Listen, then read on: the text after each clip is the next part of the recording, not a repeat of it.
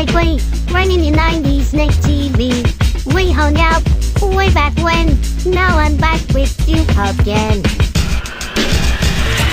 That's not at all pathetic.